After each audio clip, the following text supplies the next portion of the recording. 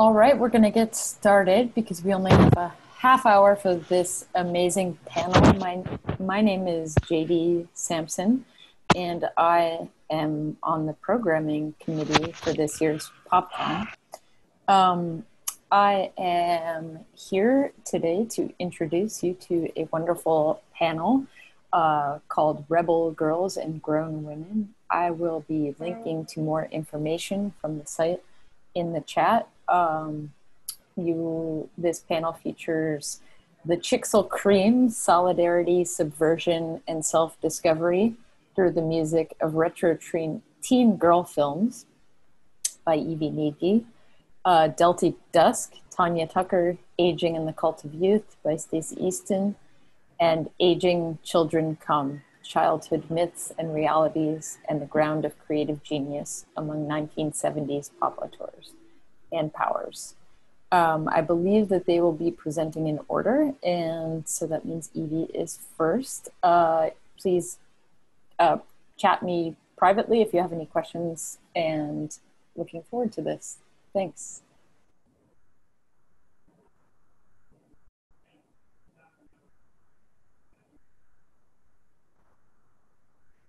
Evie, are you ready to go? The chat. She's muted. She doesn't know how to unmute herself. Or she can't. Oh, she's she's unmuted. She said, I need Hey, hi. Oh. Hi. Yeah, I um I had accidentally left and then come back, and so I think I wasn't made a host, so I couldn't unmute myself. Thank you. All right. Um, hi everyone. I will get started because I know we don't have a lot of time. I'm just gonna share my um, screen briefly.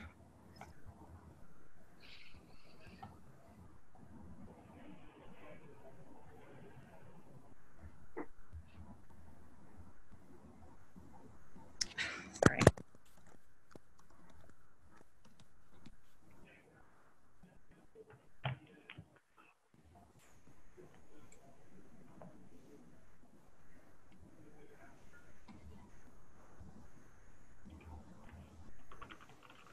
Zuko!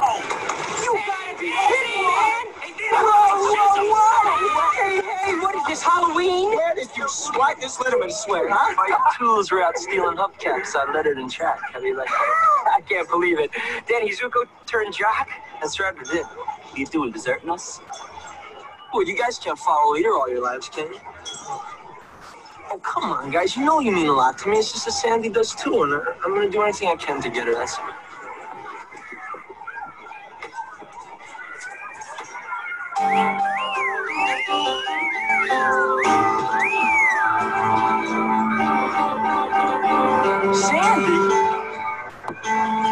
Tell me about it, Stella.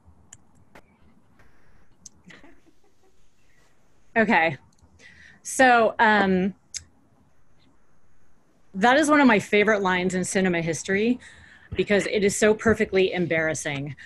On the surface, it introduces the transformation of Sandy, played by Olivia Newton John, from the prim and proper prude to sexpot greaser, in a gift of the Magi twist where both Sandy and John Travolta's Danny adopt new identities to get closer to the other. But Sandy, and as all of us who've watched the physical video hundreds of times know, certainly Olivia Newton John is a huge, adorable dork. She clearly practiced that line thousands of times in the mirror, rolling the dice that Danny would say something to which, tell me about it, stud, is an appropriate response. And the best part is he doesn't. It's a total non sequitur, and she rolls with it anyway and gets her man. It's a striking moment that is meant to wow us, but is unintentionally relatable for its awkwardness. A straightforward feminist critique of Grease's finale would be that Sandy gives up her true self as well as a body she's fought to protect in order to appease a horny guy. But I've always seen it as a choice she made to free herself from puritanical expectations, just as her besties, the Pink Ladies, have been quite defiantly doing the whole movie.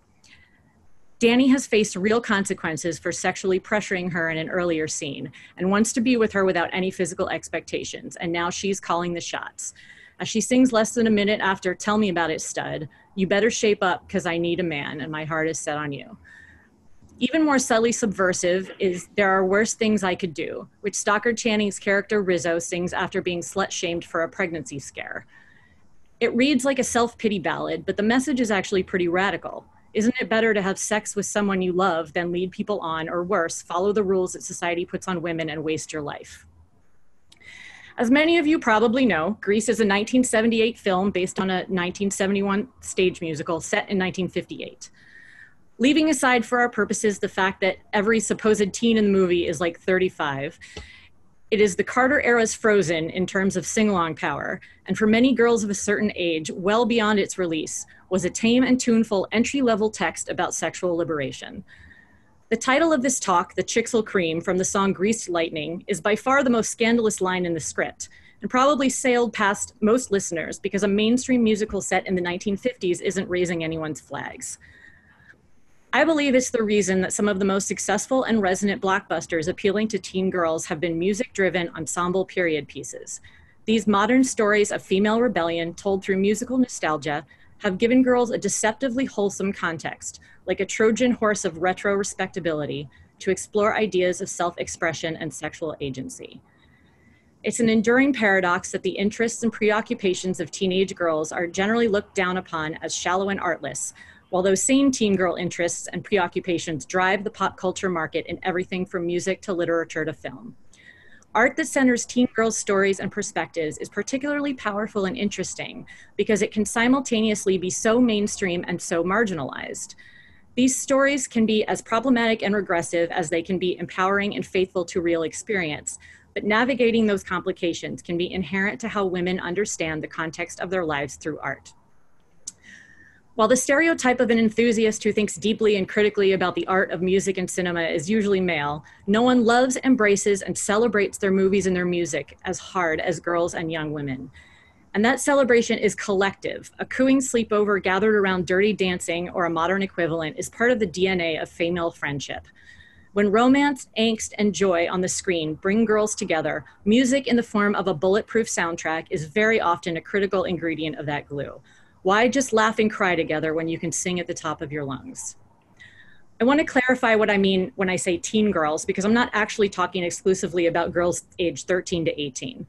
Most of the media I'm talking about features teenage characters, but the primary audience I'm interested in is any girl or woman who is at least beginning to identify with the issues those characters and female adolescents are normally concerned with crushes and early love or sex, professional and creative aspirations, vanity, body image, self confidence, either because they're working to summon it or, un- or are unable to, complicated friendship, and questioning and resisting authority for cerebral reasons rather than instinctive, like a toddler.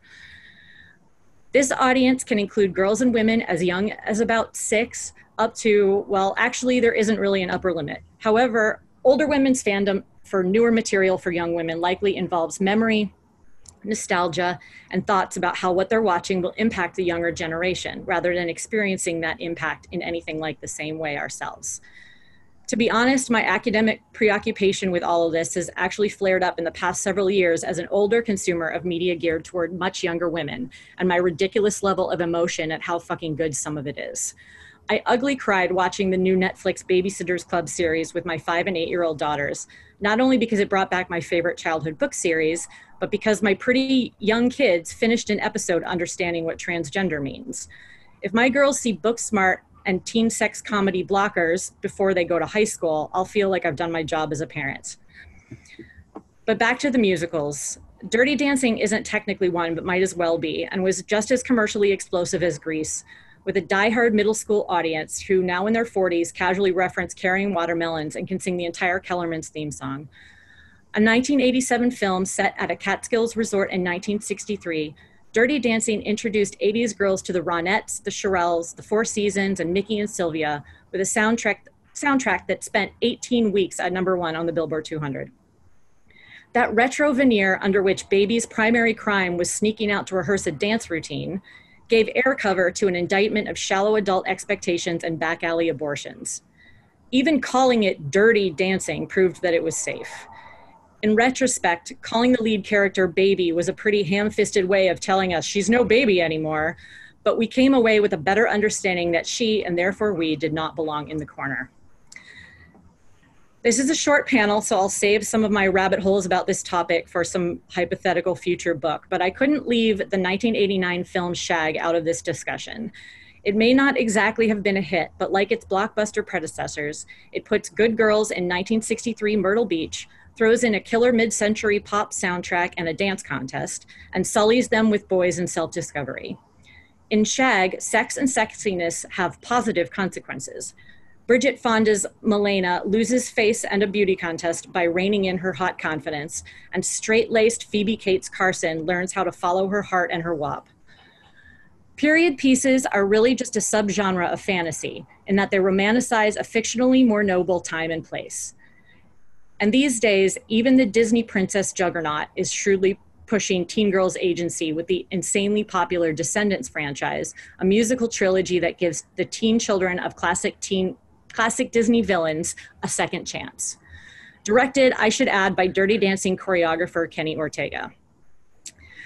The boys in the films are fairly well developed sidekicks, but the heroes are the daughters of Maleficent, Ursula, and the Evil Queen. And even with a fairly standard romance thread involving the hot, kind of dumb son of Beauty and the Beast, the films obliterate the Bechdel test and portray young women as creative thinkers and respected leaders.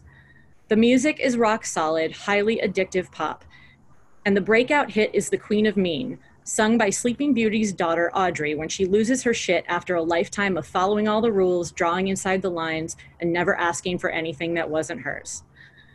The key piece here, of course, is that Descendant superfans are in elementary school, and many of them are boys who at a young age are seeing female protagonists as the default. There are obviously no explicit sexual awakenings happening, but the franchise flips the script on the traditional hero's journey the girls don't have to pretend to be boys or convince men not to underestimate them to be leaders. They just get there naturally with their own effort and character. As much as I hate to end a PopCon paper by calling Disney revolutionary, I should cut myself off. But despite the fact that where teen girls go, popular culture follows, it's still to me something of a subversive act to acknowledge and invest in that power. Thank you very much. Thank you so much, Evie. Uh, Steacy, are you ready?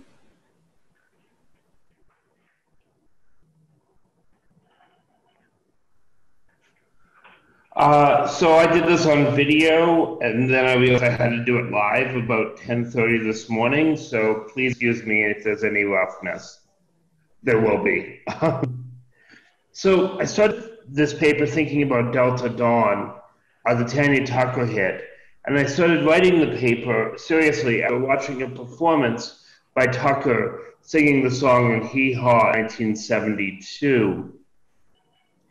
Hee Haw is the secret, accurate history of American country music, kind of encompassing everything that we are embarrassed of via the genre.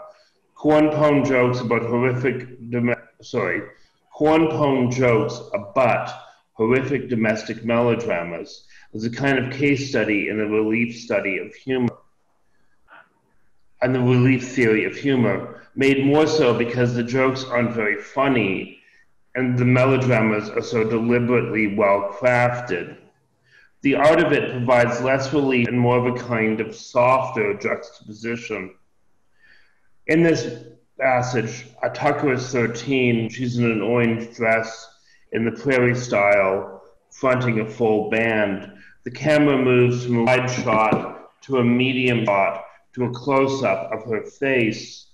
She keeps singing. Reading the AP and popular press about her concert at these moments in this time, um, and in concert with men like Mel Tillis or Tom T. Hall, who have decades more experience, you get her described with things like, quote, her raw barroom voice, or the little girl with a woman's voice, or that great big voice, or a dynamo, or an ingenue. But she isn't as coltish as an ingenue. She isn't as bone burning as a dynamo, and she would grow into that uh, with a second revival in the early 1980s. Her voice isn't very big, it's clear, precise, but quiet. It would be out of place in a bar room. And so trying to figure out where Tanya Tucker fits in at this moment is, is an interesting problem. So for some context, her dad was a tuck was a truck driver who figured out Tanya was a better bet to make a living than him driving. So he moved the family around a lot. He grew up in Texas, then in Phoenix, Nevada, and Utah. She auditioned to be part of the Redford vehicle, Jeremiah Johnson, and got a bit part instead of supporting role that she wanted. Um, and even when they were Phoenix, her father traveled to Nashville, pushing tapes of her singing. Um, he did this also in Los Angeles. So I keep thinking about, um, sorry, he did this in Los Angeles, and he eventually met Belle Cherelle in a casino in uh, Reno and shoved a tape into his hand, into her hand, into Cherelle's hand. So all that considering, thinking about Delta Dawn is this hassle of super early Gothic songs that she sang in the early 1970s. And thinking they were kind of like Dolly songs around the same time, like Me and Little Andy, or Down from Dover, or Ravine. Um, but these people either had age or geography on their side. Tucker playing these songs, she's too young for them and as I said, she didn't play the ingenue. She didn't play young. And they were about the isolation of being a woman and often an aging. And so she's almost playing a role, a kind of age drag. So let me break for a minute and tell you the plots of six of her songs that charted in the, in the early 70s, including that Delta Dawn. Delta Dawn. A woman is jilted lover, and she spends the next year's 40 years wandering around Brownsville, Tennessee, waiting for him to return. He doesn't.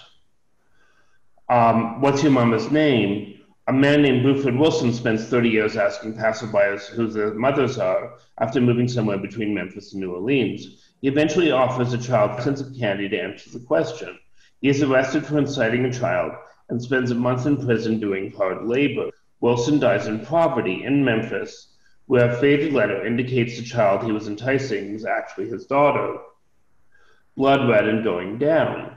A child accompanies her father to a bar room where her mother and her lover are congregating. The father shoots the mother and the lover. Would you lay with me?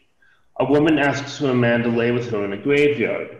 Lay with here being the obvious sexual metaphor, and also something more ghostly. The man who turned my mother on. A travel salesman elopes with a housewife and dies when the child is five. As an adult, the child asks questions about her father. Lizzie and the Rain Man, a Rain Man, a kind of shamanic figure, comes to visit small town Texas and meets a local woman and they fall in love. So these things have a number of things in common. These songs have a number of things in common.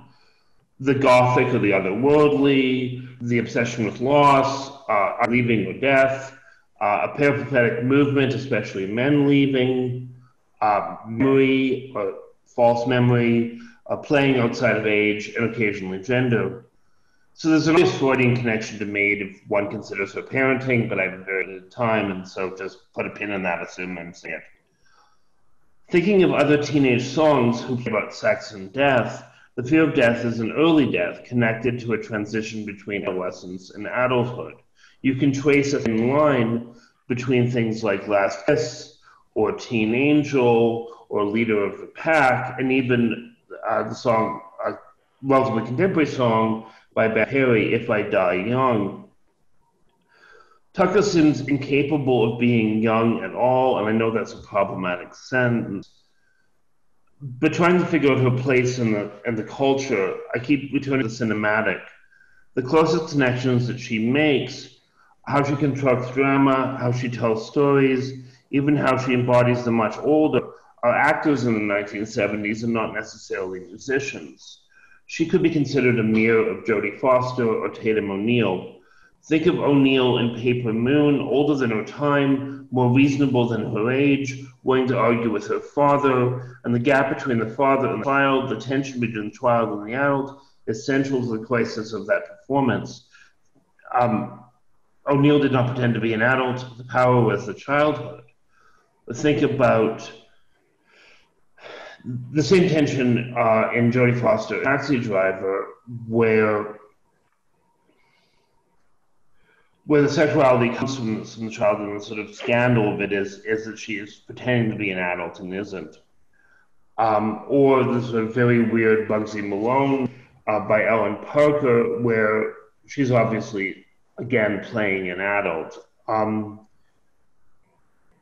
so one of the things that these have in common is an oddering, is an odd, stuttering, start, stop-start career not unusual for child stars, but perhaps made more so by how these figures were so far away from childhood uh, from the beginning. So the question becomes of becoming an adult is is even more difficult.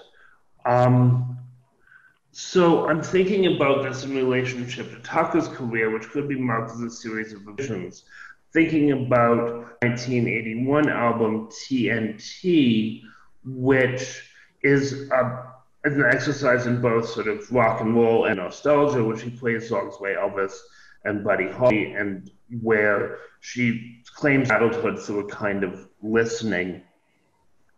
But also the Um, 2018, where she finally won the Grammy, where album where she finally won the Grammy, where she is produced by Shooter Jennings, and so when she sings Delta Dawn in concert and supporting that album, she's oh, she sings about sort of the age that Delta Dawn would be. And so her concert footage often features conversations about sort of not keeping a man, often keep, features conversations or jokes about the sort of ambivalence of adulthood. And so it returns back in a sort of looping way to this sort of historical memory of, of that space. I find it really interesting as well that she's working with Shooter Jennings as a producer, Wayne's son, and then she's working with the Haggard Boys um, as musicians or as opening acts. Um, and and so I'm interested in that her role in Nashville then is ongoing, sort of like trying to to catch up, but she's now in a mentorship role. But because she's all viewed as sort of this ambivalent age, I'm wondering if that's a relationship to her, for example, not being in the Hall of Fame. I'm wondering if that's in relationship to her never being steady in, in, in her life, in her career at least. Um, we have about a one minute warning. So, and I think that this question then returns back to a question of legacy. Holly Gleason, the writer, keeps uh, bringing up this idea that we keep uh, claim lip service to legend, but they don't sell, they don't move units. So I wonder what it means, you know, that was performing these songs finally to late adulthood, that she has aged into the character that she's doing so well, and as a result, she's getting this sort of critical acclaim, but she's not so well as she used to. And I'm interested in that sort of dichotomy of sort of aging out of a commercial success into a into a into what what sort of a legendary success or a canonical success. So that's what I have. Um, I'm done talking, so I'm not sure where about time. I'm probably a little early. Thanks, Steacy.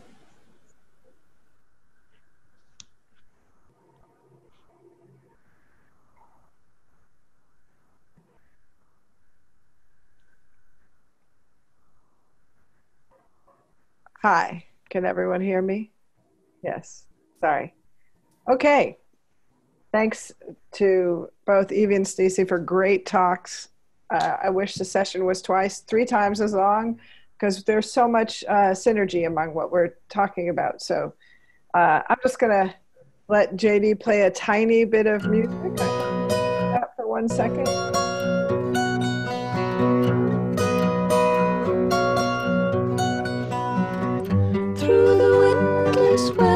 Of wonder by the throbbing light machine. Welcome in the to Fairyland of the inner child. Orders from the king and queen. Okay, we can turn that down a little bit. All right, so this is a uh, from my an excerpt from my ongoing Joni Mitchell project. Uh, the chapter will eventually include much more than this, uh, including sections on uh, self help in the inner child, children's books, including Anne of Green Gables, The Secret Garden, and Joni Mitchell's favorite, Kim, by Rudyard Kipling, um, polio and its meaning in her life narrative, uh, and a brief interview with James Taylor. But for today, we're going to focus on the singer songwriter in general and uh, two contrasting communities, or uh, let's say artificially separated communities, and how they address the role of the child. Here we go. And we're at 155, so I don't know. that means I have five minutes. Is it okay if I go a little long? I'm going to just. Of course, go. we're going to try to fit in a few questions as well.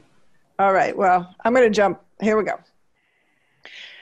In 1969, Joni Mitchell recorded an anthem for the blissed out dreamers who surrounded her in the songwriting circles of Laurel Canyon. It had been kicking around in her repertoire for at least five years since her turtleneck days in the cafe scene connecting Detroit to Toronto. Songs to Aging Children is mu- like much early, early Joni, flamboyantly adventurous, an incantatory edict demanding that listeners pause in their cup clinking and listen to folk rock's new profundities. Sorry, I cut out a whole bunch here. Uh, like so much of Joni Mitchell's of the songs on Joni Mitchell's first two albums, "Songs to Aging Children" is ridiculous and awe-inspiring, like some scribbling in a college kid's tea-stained notebook, whose every fifth line is a genuine revelation. And thanks, Karen. I see that we we can run a little a late late. Thank you. Sublime as its structural innovation may be, it's easy to imagine an older Joni Mitchell chuckling at the gravity of her novice self in a song like Songs to Aging Children. At 25, Joni dreamed of being both ancient and newborn.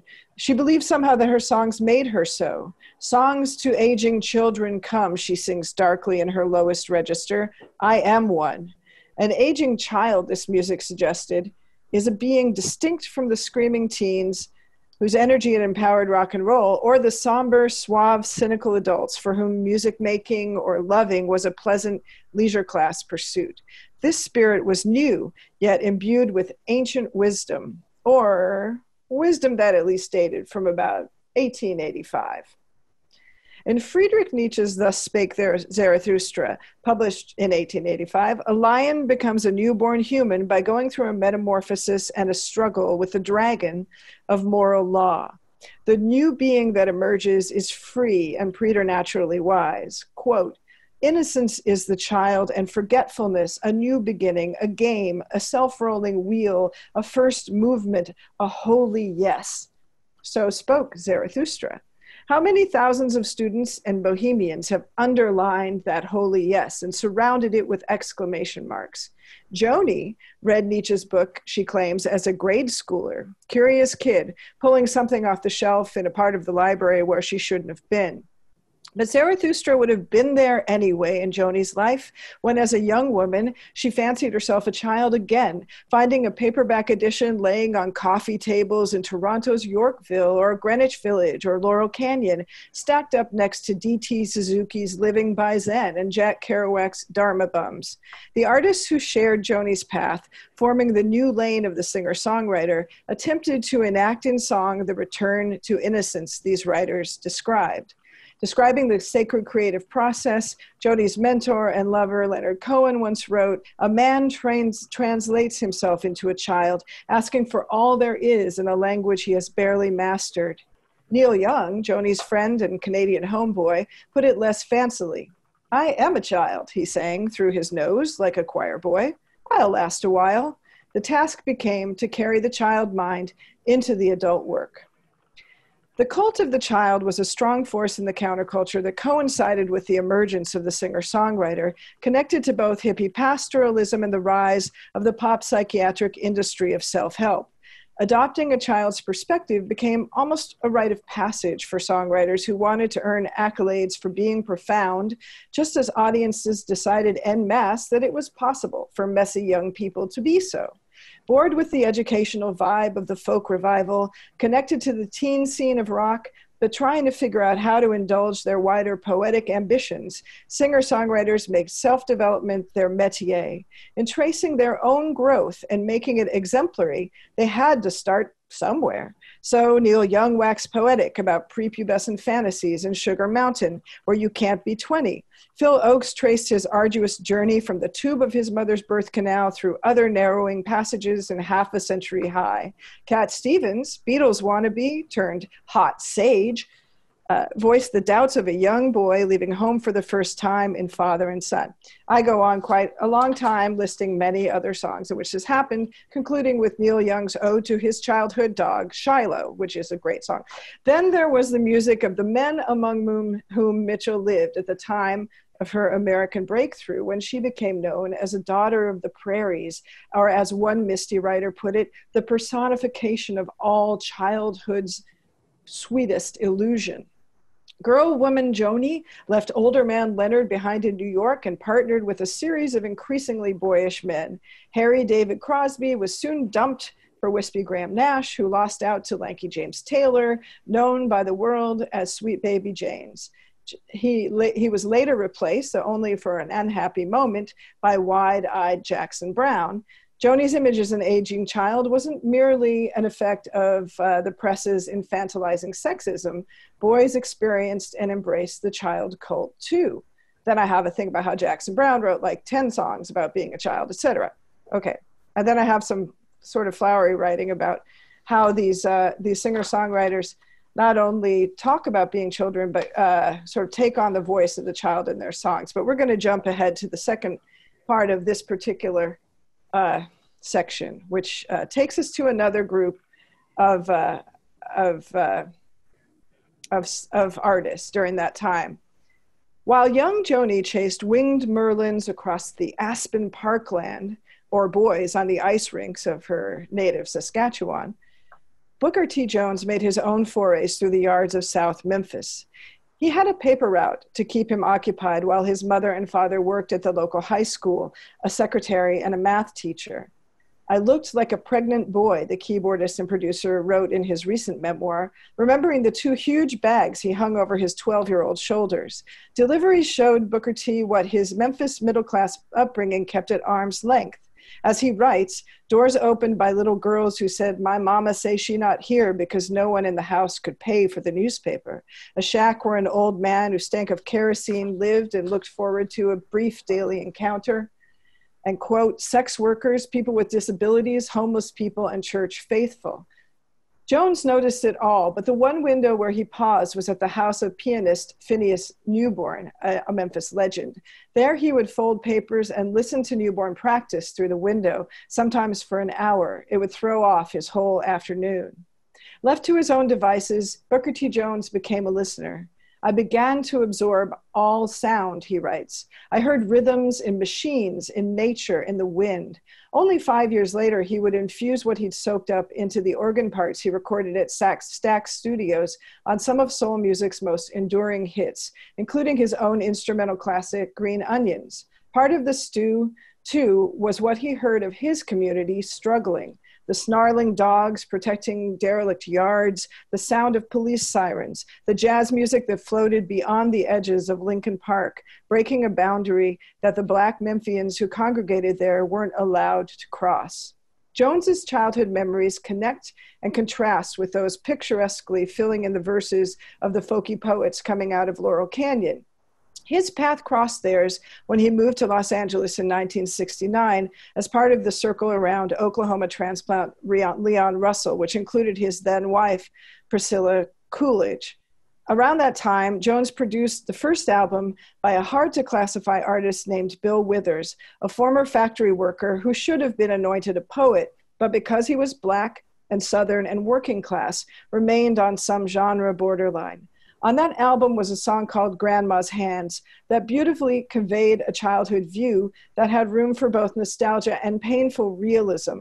Withers remembered his dead grandmother offering hugs and candy, but also holding the wrist of his mother, who might slap her children when she came to the end of her own rope. Unlike the aging children who played up the forlorn beauty of their green days, Withers had little to say to press about his childhood in Slab Fork, West Virginia, when asked, except that he still enjoyed going back there, and his mother was all right. He was once pushed, however, by a journalist who accused him of not understanding the blues. I am the goddamn blues, Withers said. Look at me, shit. I'm from West Virginia. I'm the first man in my family not to work in the coal mines. My mother scrubbed floors on her knees for a living, and you're going to tell me about the blues because you read some book? Kiss my ass. That flash of anger exposed some realities that were not necessarily universal about Black artists in the age of the emergent inner child, but which came through in many of their songs, complicating the idyllic space of childhood memories that the singer songwriters, the white singer songwriters, were presenting. Uh, their music and life stories, like those told in the new literature of Black experience that women like Toni Morrison and Maya Angelou established, didn't obliterate the pastoral landscapes that white singer songwriters strummed into being, as much as fill in what they often only sketched in corners. The harder realities of childhood in mid 20th century North America, particularly for people of color. And music was not merely a companion alleviating loneliness or enhancing solitude for these aging children. It was a way out of poverty, of overcrowded family homes, and into an adulthood that promised prosperity, not just for them, but often for their parents and other loved ones. I'm going to jump ahead since we're running out of time. I have a section then about the uh, how often Black children in uh, during the Great Migration were displaced in various ways, separated from their families, uh, forced to work at a young age, and um, and making a journey from the country to the city that also was a journey into becoming child performers. Such an important part of the Black American story in music in the uh, throughout the 20th century, but particularly for artists like Aretha Franklin, Chaka Khan, who uh, started singing in bars at age 11, uh, Roberta Flack, who was a child prodigy, Stevie Wonder. So I'll take it up for this last paragraph with Stevie Wonder, and then I'll wrap up.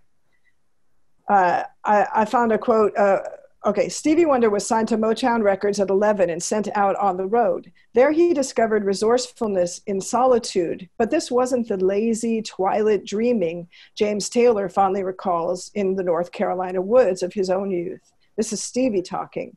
When you are traveling on the road, he told a reporter in 1973 when he was only 23 you have to learn to get to know yourself. Always know where you are as a person what your likes are. I had to learn this at a very young age and fast. Okay last paragraph. Stevie wonder was as spiritual at the turn of the 70s as anyone in laurel canyon and the inner children to whom he gave voice in songs like i wish or girl blue had magical elements. They were golden playful just beautiful but they also faced pain and privation. Jimi Hendrix, who struggled through deep privation as a boy in Seattle, struck an exquisite balance among these elements in his song Castles Made of Sand, his tragic ballad of dreams deferred. The verses move from the adult disappointment of a spurned and it seems unworthy lover through the death in battle of a young possibly brown man who dreamed as a boy of being an Indian brave, and finally into the childhood of a de- desolate, disabled girl who, mourning her inability to walk, decides to die. At the edge of the ocean, Hendrix's cool, watery guitar lines evoke Seattle's pearl gray Puget Sound. The girl hesitates. Something is on the horizon. Look, a golden winged ship is passing my way, Hendrix sings, his voice cracking slightly, growing younger than his then 25 years for an instant. Is it a rescue vessel or a Feather Canyon chimera? It doesn't matter. It really didn't have to stop. It just kept on going, Hendrix murmurs. The ship is the hope and the delusion of the child who experiences solitude as a contradictory state a burden and a salve, as well as a space of opportunity, a loneliness enforced by racism and other inequities, circumstances created by people, not by some Nietzschean metamorphosis. I am the goddamn blues, Bill Withers had said, thinking about Slab Fork. Thanks. Thank you. Thank you so much, Steacy, Ann, and Evie. Uh, those were incredible papers. Um, we are going a little late and we've decided to end at 12.15 Pacific Standard Time. Um, so we will accept one question uh, from any of the attendees or um, from within the panel. Uh, and the next panel will be also extending um, its, its start time.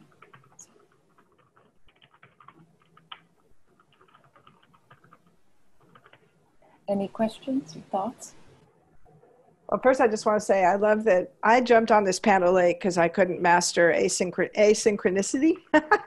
um, and I just want to say that these three presentations have go together so beautifully. It feels that it was predestined. I love, I love how uh, Steacy, you're talking about Tanya being put into a position of you know being beyond her years, uh, while at this very same moment that that the Laurel Canyon singer songwriters are uh, adopting this affect of of being younger than their years, and then and then Evie is similar period because Grease, of course, as a stage musical debuts in 1971. So I wondered if either of you had thought about how general attitudes about the child at that time, both in terms of a figure um, as Carl Wilson said in the in the comments, uh, you know, there was sort of this fear that through the counterculture, the children were taking over. Although I would argue that by the early '70s, that had shifted a bit. Um, and then, secondly, in my obsession, um, which is self-help and the emergence of the inner child through uh, popular tomes like Games People Play, also uh, a country song. uh, I'm okay, you're mm-hmm. okay. And uh, I found one called Your Inner Child of the Past from 1962, uh, actually. But anyway, there's I'm okay, you're okay. So I wonder if you how you see all these things connecting. I think one of the things that you was uh, was really important that you brought up was uh, Bill Bill Withers and labor mm-hmm. uh, about working class, and I this is going to get me in a little trouble, I think. But I always found the sort of Laurel Canyon scene.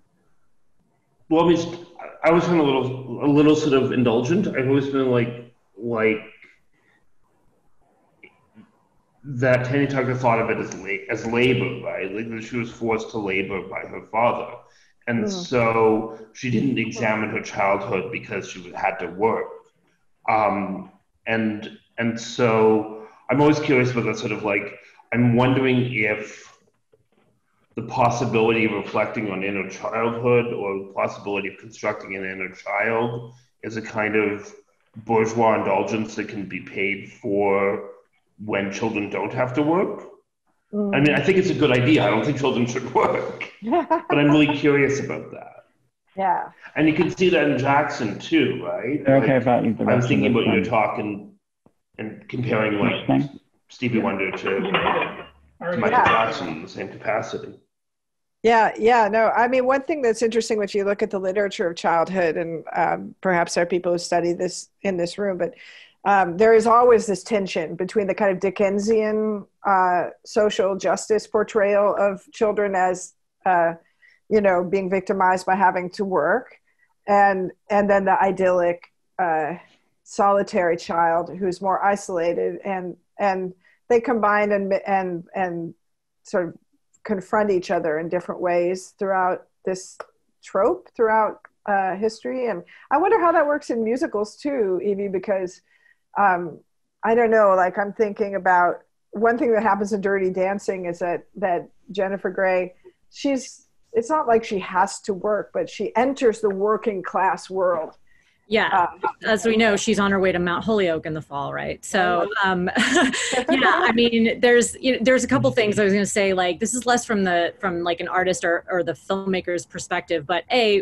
one of the things is I'm the perfect age for these to have like really deeply affected me, and I think that, like I sort of touched on a little bit, um, the being you know now in my 40s, kind of examining this whole sort of um, range of of art that's like this it really like i really kind of tapped into um to what not only what it meant to me but like what it means to um to young women and adolescent girls like at an incredibly important time in their life. And like i think it you know and, and i've sort of come to the conclusion that that any art that's created for them is is kind of subversive by definition in a way.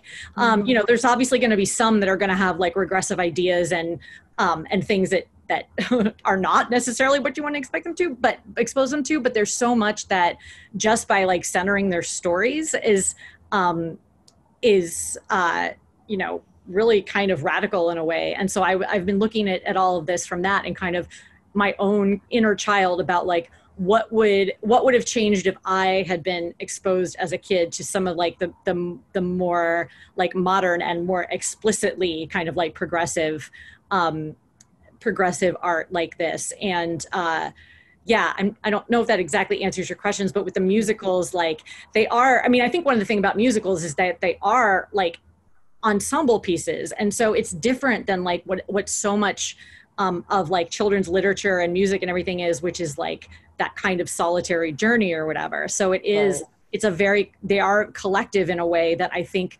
um, makes it uh, makes it a lot like it gives it its own uh, power especially when you're thinking about like the fact that people that, that the viewers and the listeners are doing it collectively as well. Like you know. Right. Like in grease you have you know i mean obviously there is the weird thing of all film musicals where these 35 year olds are playing teenagers but like Kenickie, jeff conaway's uh, character is a mechanic right in fact right. they all i thought doesn't john travolta's character also work in the shop but yeah like working high school kids and then yep. the you know the richer kids who don't work so i think there's class tension just right. as just as in a lot of um, children's literature, there is this tension. Uh, in The Secret Garden, for example, you have three different children, all of whom are almost emblematic of uh, different ways of being a child a, a sick child yeah. uh, a kind of coddled girl child and then uh, and then a working free a free working class boy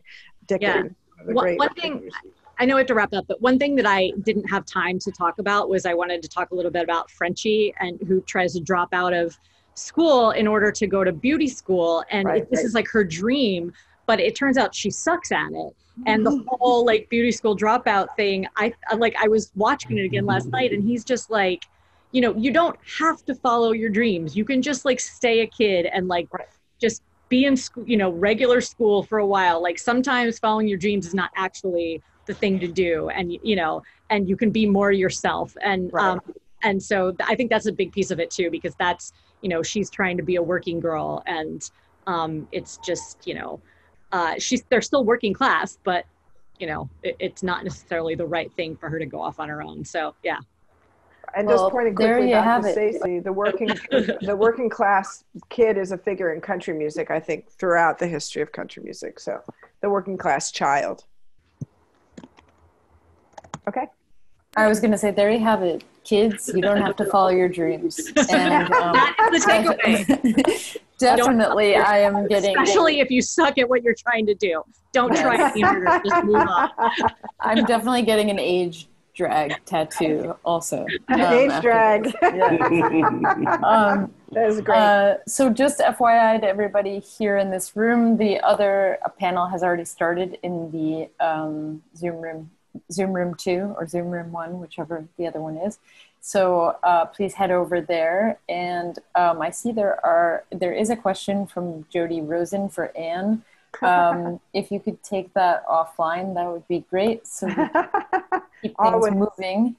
Um, unfortunately. Thank you, Jody. Yeah. Um, anyways, thank you so much. Uh, please continue to enjoy the programming. Uh, we've worked hard on it, and I'm glad we can all be together virtually. So thank you so much. Thank you. Thank you, JD. Great moderating. Thank you.